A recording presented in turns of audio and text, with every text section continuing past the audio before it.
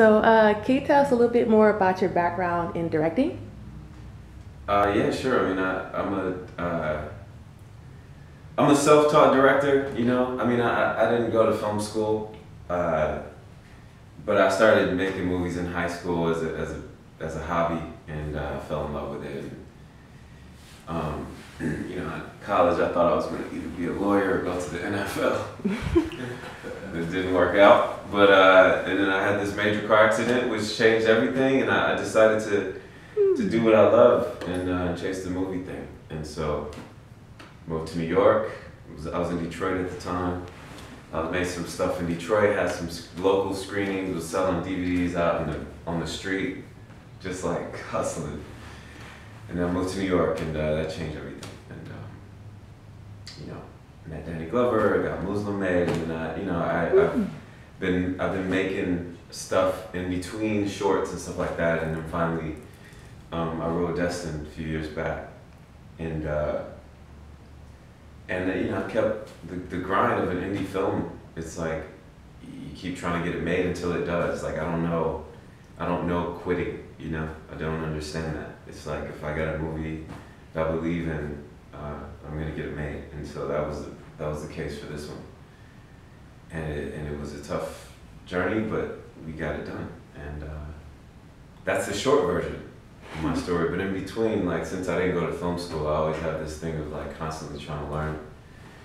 So I'm always re- I've read probably every film book there is. I've um, I'm subscribed. You know, you, it's crazy like how much you can learn on YouTube now. It's ridiculous, man. Like I tell any young filmmaker, like, man, go to YouTube, subscribe to these channels. Like these dudes, like, I, I'm, I'm, I'd be shocked if this is free for another year, because it's just so valuable. And you know, wherever I, I lacked, you know, in cinematography or whatever, I didn't learn the technical. I learn, I know all that stuff now because Mhm. of these courses I take and these these books I read. So like, you don't have to go to film. Film school's great for connections, but um, but it's all available to us now. So. That's that's the short version of my journey. Cool, cool. Can you tell us more about you and acting? Because you've been acting for so long. I mean, it's it's yeah, it's kind of. Um, just how it started or how? well, just kind of like how your your passion turned into like a career. Oh, um, okay. Um, well, I've been acting for 20, wow, this year's like 24 years. So it's just like a half of a lifetime, or depends how long you live. um, I got into it doing extra work in Chicago. My mom took me to an open casting call for an Oprah Winfrey movie. Yeah, I was, I I was 14. And um, I got picked out of a thousand kids to be Oh. one of like 20 extras in the movie. And I was able to say one line, and that was a month and a half. So it kind of started from there, and I was just shy. I'm still kind of shy and reserved until I started going, but you know, I kind of fell in love with it from there. You know, seeing Oprah from afar. You know, she she looked like Black Jesus. you know. Couldn't nobody touch her. I just saw the halo over. her. That was That's Oprah funny. to me, and that was the biggest thing growing up to me in Chicago was Oprah and Michael Jordan at the time. And uh, just to be in the same vicinity. I remember seeing a guy from Menace Society. He played this dude, he- Sharif. He played uh, Sharif from Menace Society. Yeah. He was in the movie. Yeah. He had a bodyguard. He walked through. He got out the SUV. I was like, man, that's the guy from Menace Society. And I tried to get his autograph. You know, he looked at me kind of like, what's up, kid? I ain't doing those. I'll never forget that. Well, shout out to Sharif.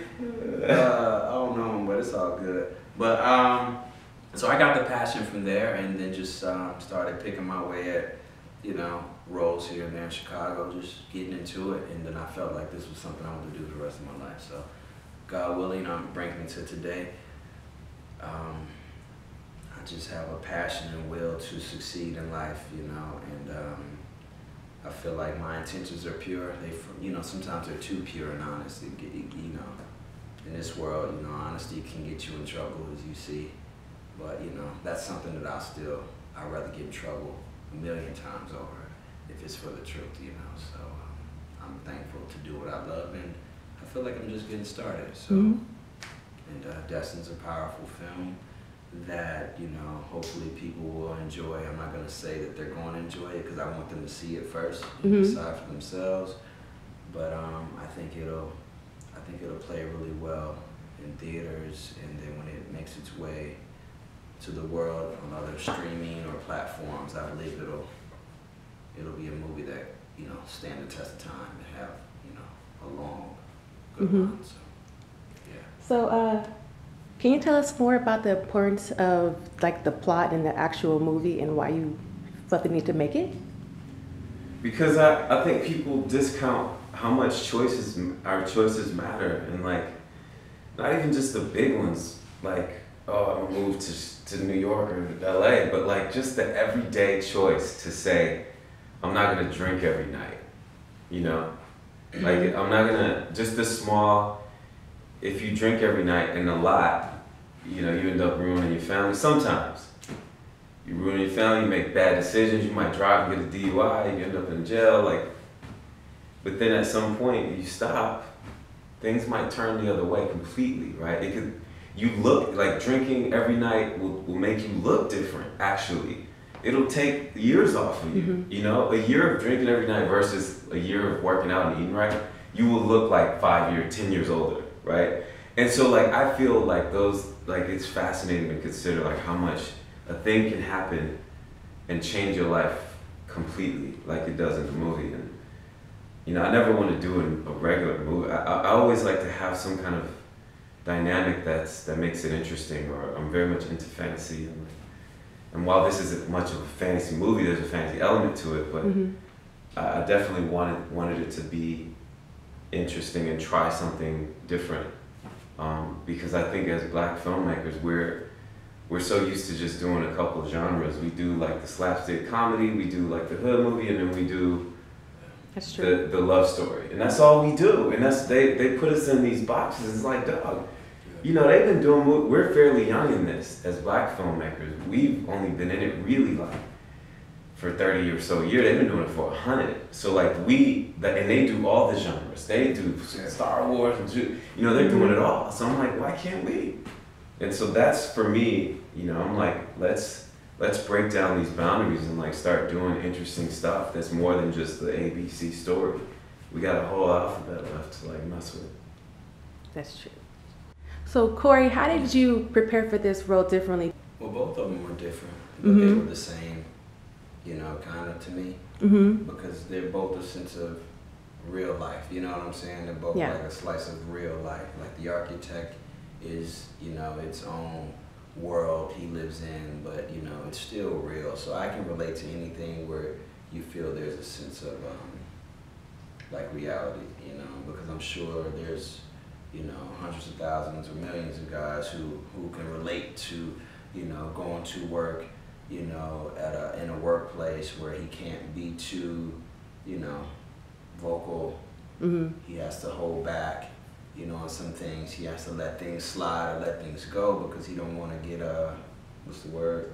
Ostracized or blackballed Yeah. because you know he has to you know provide for his family or he has to keep the lights on or keep food in his stomach. So sometimes you say i can't say that because i can be i'm one check out away from being Yeah. homeless. And that's just how it is in the real world. You're one or 2 Mhm. checks away from being out in the streets.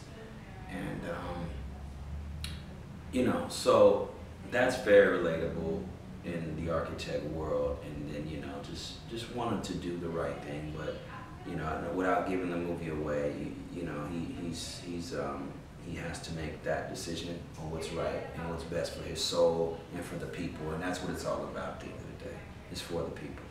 So um, that's Rasheed's character. And then the um, Sheed the drug dealer's world is very relatable as far as father-son relationships Mm-hmm. you know, and the street dynamic, because the inner city and the streets is, is taking our youth daily outside of Yeah. that and the cops and all this other shit that's going on in the world and the government. But, you know, the part that we could show there is, you know, be more involved in your kid's life. You know, I have a son uh, myself who's six, and, um, you know, it's very important that your fathers are in their lives because that moment of the dad being there and being that strong voice can change his life for the better. and you know we want people to, you know, at least have a chance and look at the movie and say, you know what, let me, you know, do the right thing, or let me get Mhm. involved with my son, or let me mend this relationship, because the children are the future. So, um, is there anything that that you kind of want this movie to get across to you know young people or teenagers that are living this kind of lifestyle? This is their life, not Right, versus right. a movie. Yeah, I, I think, uh, you know, I never want to tell anybody what to feel for a movie, you know. We all come from different, everyone's life is different. Some completely different. And, you know, I, I can only hope that people get something more or something valuable from it. But I can say emphatically to, to youth that the choices we make, first of all, it's never too late to make a different one Mhm. like a lot of people feel and, and it's okay where wherever you are you know Mhm. it, like it, it's it's it's a it's a it's a day by day hour by hour minute by minute thing where where you can always adjust and course correct and and make better decisions and and contribute to in a way that, that can make this world a little better you know in your in your respective area you know so I think that's the most important thing is like yo it's, it's not it's fine you know Mhm. and you and you always have a choice. Um, so that's that's the main thing. Okay. What about you, Corey? Because some, you know, some people, you know, like young kids and teenagers really live this kind of lifestyle that you portrayed in the movie. What is what is it that you want them to watch this movie and walk away from kind of thinking or feeling differently? um, your life, you know, it's very important. It's very crucial, especially in today's time. and you are your decisions. You know, it's just that Mhm. simple. You know, uh, we're not being preachy, but there is a message in the film hmm that you know you're one split second from the left to the right, from you know the um, the good or the bad with your life, and hopefully they choose good.